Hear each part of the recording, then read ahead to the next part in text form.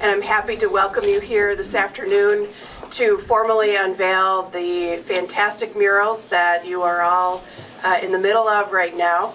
Uh, this project was really uh, happened kind of organically. Uh, last spring, I showed Derek Coley uh, a picture of a wall in San Francisco of wings that people were using to uh, take photos of themselves with angel wings and dragon wings and so on. And Derek took that to John Hilton and to uh, a few other people and to Chloe and came up with this fantastic rendition of what we were originally talking about. And this is so much better than what I had ever envisioned.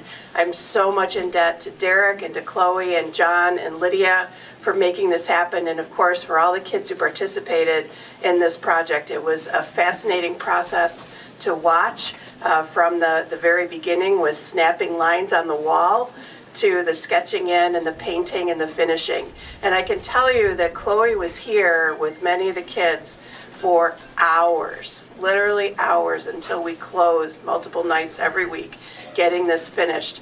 And I'm just so appreciative of it. Um, it adds it adds so much to the central library and to this space, which was really kind of dull and airless and, and just nondescript for so long. The, the big priority for us in City Hall each and every day is, is, is three things we focus on, and that's, that's more jobs, safer, more vibrant neighborhoods, and better educational opportunities.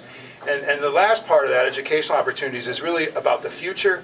And there's no way that we as a community can have as bright a future as we all want if we're not investing in um, in our, our youth. And, and one of the great ways that we get to do that as a city is through our library. And I, I, was really wild to come down this hall and look at what you guys have accomplished because it is amazing that that that look is something that that is um, you know inspiring to the kids who are a part of it, but also the kids who come here and are a part of the programming that we do in the library. And and if anything, I think it's also hopefully a testament to the mayor's vision, which is that we seek ways to be supportive and invest in and give our kids opportunities to show what they can really do.